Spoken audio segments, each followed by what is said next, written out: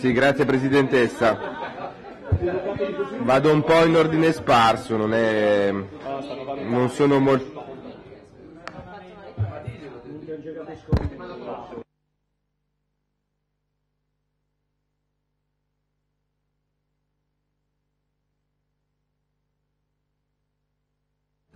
Consigliere Fuggetta.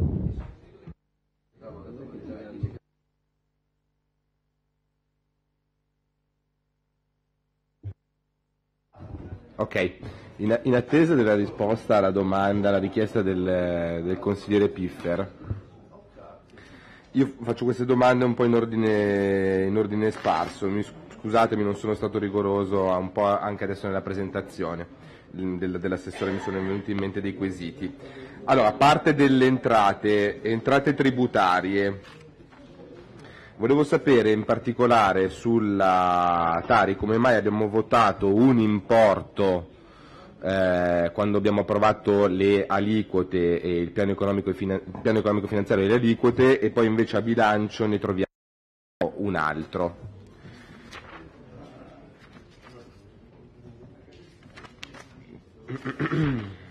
Sempre sulla parte delle entrate, entrate extratributarie in questo caso, quindi titolo terzo delle entrate, faccio riferimento a pagina 8 di 17 del bilancio 2015, eh, tra le variazioni in attivo, in, quindi in codice 3020 550, volevo capire questa variazione in attivo di 1.636.748 per proventi diversi da concessione in uso di beni comunali a che cosa si riferisce. La stessa domanda riferita all'intervento a pagina 9 di 17, intervento 3050 610, variazione in aumento di 1.092.500.000 euro, rimborsi per affittanze comunali.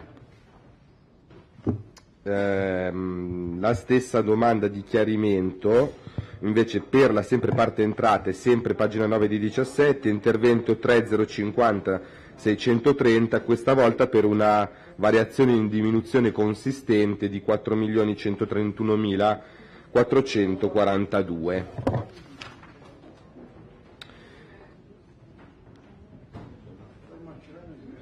che determinano complessivamente alla fine un aumento eh, rispetto, se ho capito bene, correggetemi se sbaglio, un aumento delle entrate extratributarie di 1,1 milioni eh, come ordine di grandezza.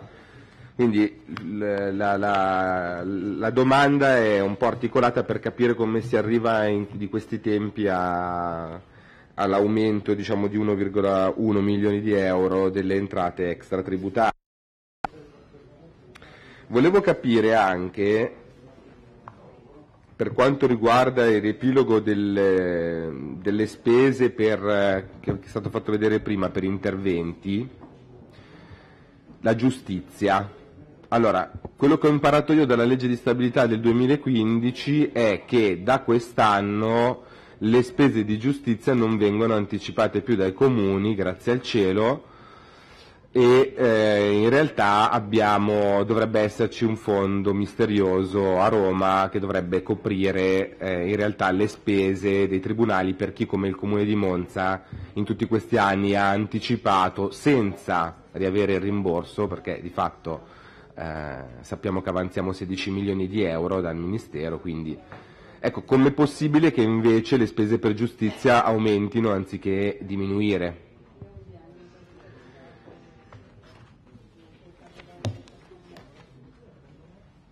Avevo un'altra domanda che avevo anticipato durante la commissione e volevo capire ehm, per quanto riguarda, adesso non mi ricordo la, la voce, però è molto chiaro, contributi ai consorzi eh, consorzio CBM, quello che teoricamente avevamo posto in liquidazione, abbiamo ancora, mi sembra, 900.000 euro, credo, che eh, diamo come contributo al consorzio. Volevo, una, volevo avere una, un, un, dettaglio su questo contributo che continuiamo a dare in, uh, a, a un consorzio che è in liquidazione.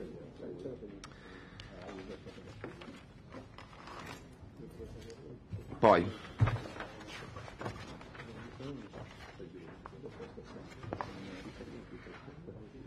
volevo, volevo capire anche questa cosa.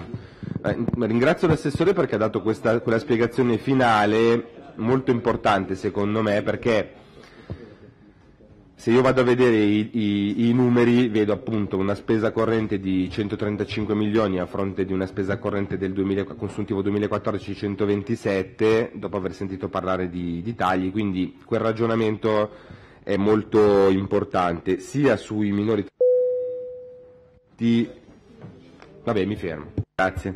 Allora, sì, le domande erano relative alla um, giustizia, eh, come appunto, la, ripeto la domanda eh, sapevamo la regola che quest'anno eh, le spese di giustizia anticip- non devono essere più anticipate dai comuni bensì dal Ministero, com'è possibile che vediamo a bilancio di previsione un aumento mal contati 200.000 euro eh, sulla voce giustizia?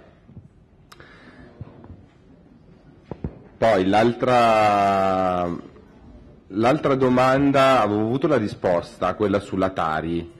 Però io mi ricordo che nel PEF avevamo approvato 20 milioni, sono andato a ricontrollare 20 milioni e 8 e qui invece abbiamo 22 milioni, quindi non, non possono essere 180 mila euro la, la, differenza, a me non tornano, quindi vorrei capire come mai il Consiglio Comunale vota 20 milioni e 8, 20 milioni e 700 mila rotti di, di tari e poi a bilancio ci troviamo 22 milioni invece.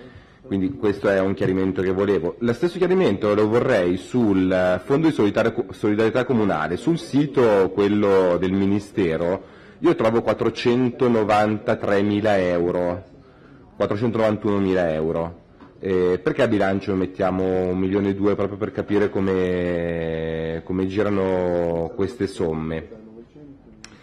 Eh, per l'assessore Marrazzo volevo domandare, ma, mh, mm, se la delibera 160, dell'oggetto 162, la verifica delle, delle, qualità, delle quantità, eccetera, eccetera, eh, se nella perizia sostanzialmente ci sono de- se è stata fatta una nuova perizia da parte dell'Agenzia delle Entrate o se è la stessa dell'anno scorso, visto che l'area è unica e quindi mm, se la somma sostanzialmente, la domanda è se la somma è identica oppure ci sono delle differenze.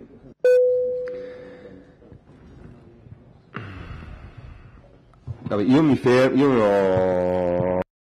veramente avrei altre domande da fare.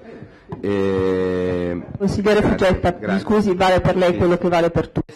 Allora, due semplici domande. La prima, eh, nella, negli allegati al bilancio eh, vi è una parte in cui è eh, spiegata l'attestazione dei tempi di pagamento dei debiti verso i fornitori ehm, non si riesce a comprendere esattamente però quanti sono, quanto ammonta il totale dei debiti del Comune di Monza ad oggi nei confronti dei, dei suoi fornitori.